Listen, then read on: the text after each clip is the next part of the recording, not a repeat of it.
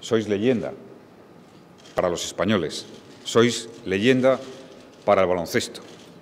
Y lo que es aún más importante es que las categorías inferiores y las nuevas generaciones también tienen unas perspectivas magníficas. Esto no es fruto de un día, ni se improvisa. Esto es la tarea de muchos años y, ante todo, una tarea bien enfocada.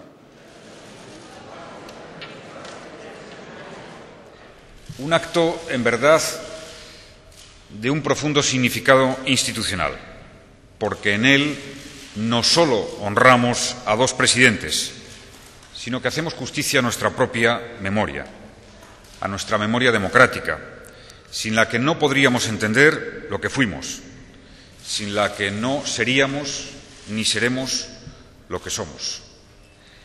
Manuel Azaña y Adolfo Suárez.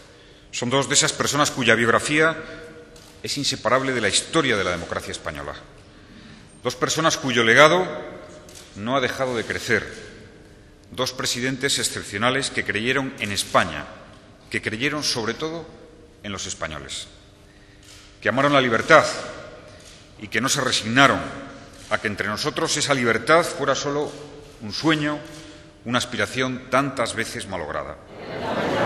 A pesar de esa gravísima crisis económica, el Gobierno ha afrontado su responsabilidad para garantizar la consolidación fiscal que nos evitara males mayores, para hacer reformas estructurales muy necesarias en este país desde hace mucho tiempo, que darán sus efectos positivos en la economía, y para preservar al máximo la cohesión social, empezando por aquellas personas que lamentablemente han perdido su empleo con las tasas más altas de protección social.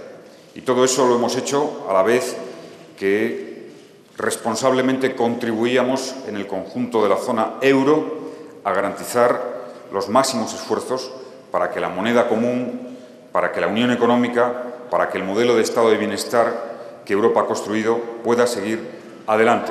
Sí, sí tener el orgullo de representar a los ciudadanos y poder hacer lo que esté en tu mano por tu país siempre es muy satisfactorio y mi deseo es que las cosas vayan a mejor para España y sobre todo para las personas que tienen más dificultades.